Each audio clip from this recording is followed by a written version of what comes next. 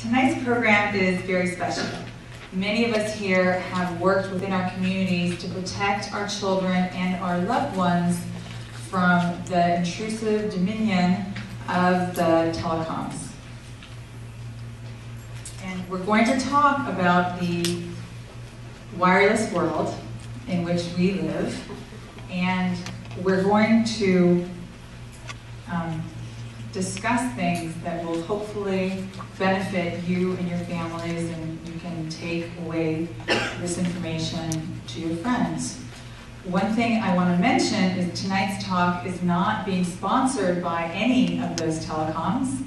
So you know that the information you'll be getting is from an independent source who's uh, not financially motivated to spin the truth. So in that regard, I am honored to present to you two speakers um, this evening, and then once we're done with our presentation, we're going to have a question and answer session. So hold on to your five by sevens or five by eights, and um, and we'll collect them at the end and distribute them. So tonight, I'm honored to present Dr. Magda Havas.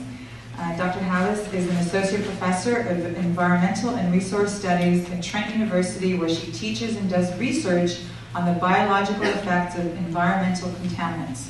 Dr. Havas's current research is concerned with the biological effects of electromagnetic pollution. She has given talks in more than a dozen countries on her research and provides expert testimony on the health effects of electromagnetic pollution.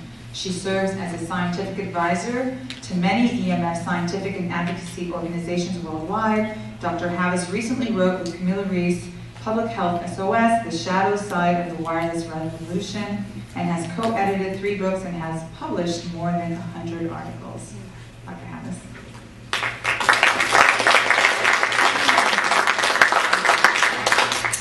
Thank you very much. It's a, a pleasure for me to be here tonight. And I'm just going to ask before I start, for those of you who happen to have cell phones with you, if you could please turn them off. Pretend we're on an airplane. Um, and if you put them into airplane mode, that would be much appreciated.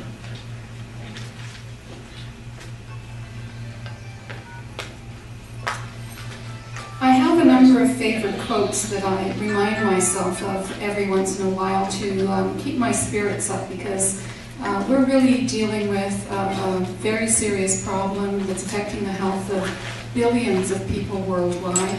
We're up against a massive industry who's making um, so much profit that they can do anything they basically want. In some cases, um, they have far too much political power as well, so they can put antennas wherever they want. And for those of us who are simply trying to protect our neighborhoods and our families, it's almost um, uh, it's such a big enemy that we're really dealing with, such a huge power that we're dealing with. And so I have to keep reminding myself of quotes that uh, keep my spirits up. And this is one of the quotes that motivates me. Liberty cannot be preserved without general knowledge among people. If you know, if you have information, you have choices and you can do things. And that's really what I'm here to do, is to share with you some of the information I have that comes from the science, that comes from talking with people who have developed electrosensitivity. And I'd like to share that with you tonight. Now, I know there are a number of people in the audience who are very well versed in this, and I know some of you are brand new to this issue. So, uh, what I'm going to do is I'm going to go through my presentation fairly quickly. I hope I'll be able to make it understandable to everyone, but we do have time for questions afterwards if there's something that uh, I fail to make clear to you. The question uh, for this present, the title for this presentation is Why Are We Here? And I don't mean that in a religious sense, although we can certainly ask that in a synagogue, uh, but more in a secular sense and more uh, for right tonight. Why are we here tonight?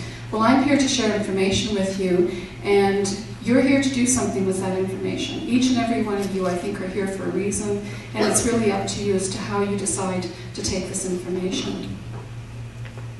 One of the reasons I'm here is because I'm concerned about wireless technology in the school environment, and that's what I'm going to focus my talk on tonight. Uh, I'm going to show you a very short little video clip of students in Mountain View School and some of the symptoms they began to experience after Wi-Fi was placed in the schoolyard. Hi, I'm Austin Lamont and I'm 14 years old. Uh, I'm, I go to Mountain View School. I've been suffering weird headaches and dizziness and displacement. Like it feels like my head is like there's a lot of pressure in my head and it's like repulsing like this.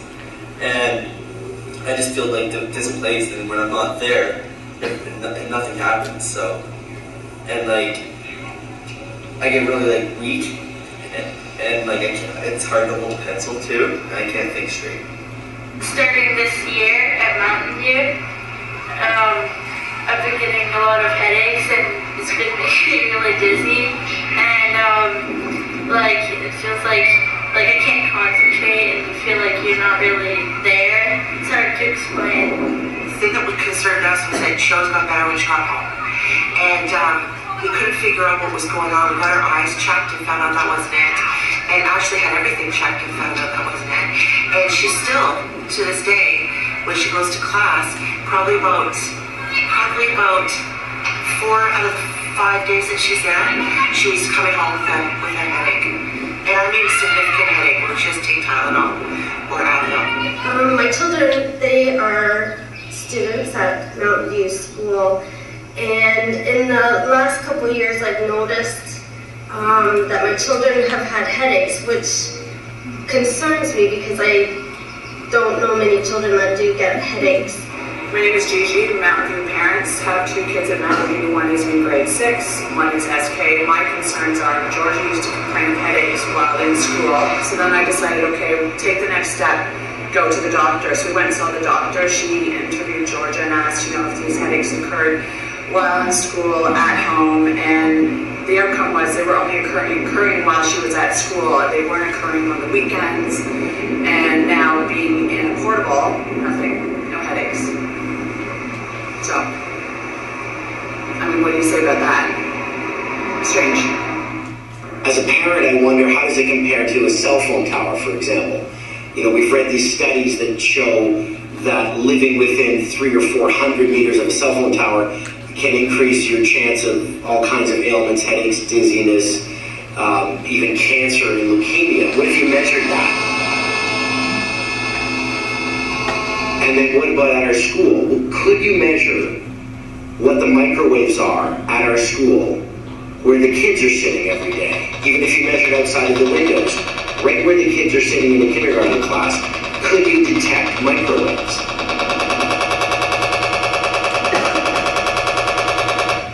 Since I found out about the Wi-Fi and some of the symptoms, it makes me think that um, we don't know enough and that maybe we should be cautious and before it's completely proven safe, um, I would really choose to hardwire all of our computers, which does the same job that the Wi-Fi does. About two years ago, my son started getting some strange sensations, and it was usually at nighttime. It would last about 10 or 15 minutes. I had like my eyes, everything looked big, and when my mom talked in bed, everything sounded like really, really loud. His, his bedroom was right over where we kept our computer, I realized later, but he would get really strange sensations at bedtime, and he would call it the weird brain thing. And I'd ask him to, to describe it to me, and he would describe it as uh, the windows and doors were changing shape, and my voice was getting louder and softer. So his perceptions were quite distorted, and I was worried, and I suspected it was the computer. One day, I just I called the phone company, and I just said I wanted to switch to cable, and it was it was uh, just a matter of changing the modem. He's never had that weird brain thing again, ever. The computer was right under me, so um, it was pretty obvious. Out of the mouths of babes.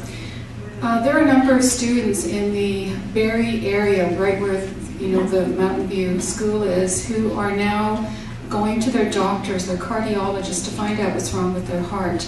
Two of the students are on heart medication. One has been scheduled for heart surgery because the doctors can't figure out what's wrong with her heart. The mother decided that she wasn't going to go through with the surgery. I'm talking about, you know, 10 to 15 year old children. The mother decided she wasn't going to go forward with the heart surgery. They wanted to wait to find out what would happen during the summer. They had wireless technology in the home, they got rid of it, and the child hasn't experienced any heart symptoms uh, during the entire summer. Unfortunately, September is here. She's going to be returning to school next week, and we will just see whether or not uh, the heart palpitations begin uh, to recover, re re return.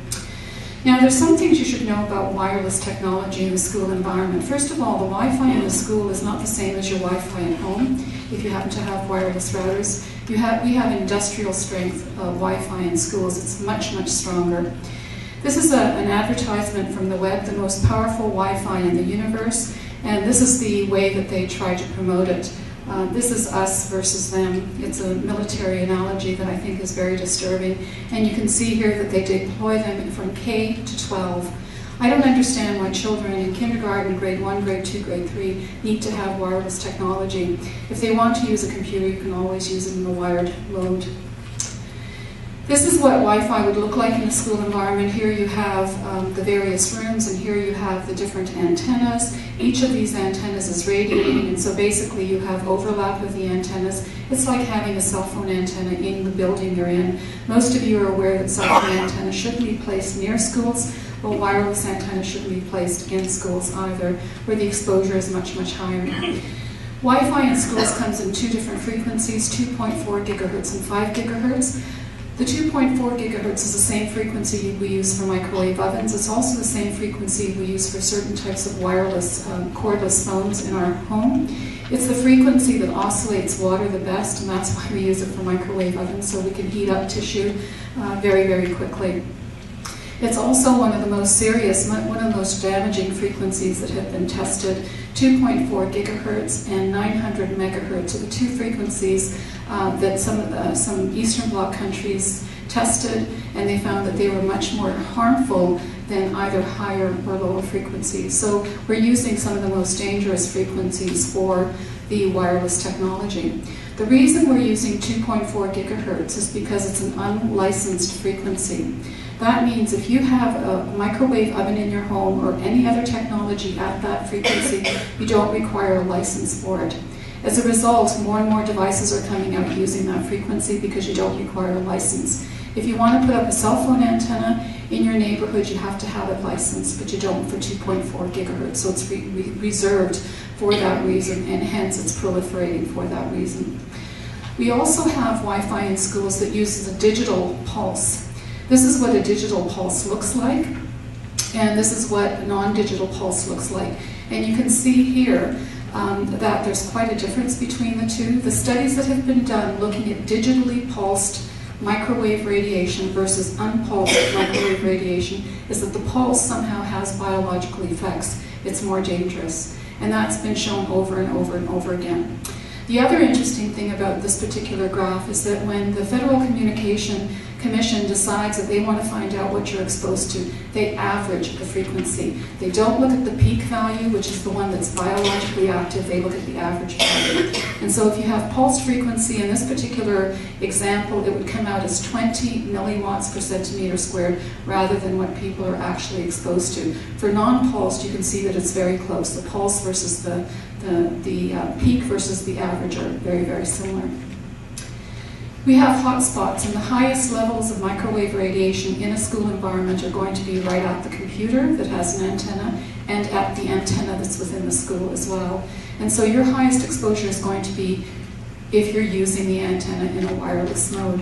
And you can just imagine that if you have multiple antennas in a classroom, 30 students, uh, streaming video, you're going to have very, very high exposures. Indeed, it's probably unlikely that you're going to be able to all stream video. It'll slow down the system, so it's an archaic way of using the technology.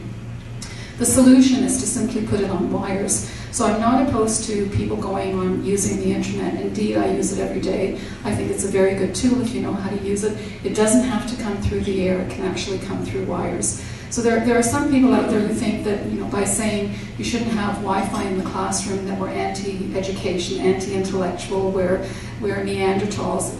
Really, uh, the best technology that we can have from a technological perspective is fiber optic. It's the fastest, it's the most secure.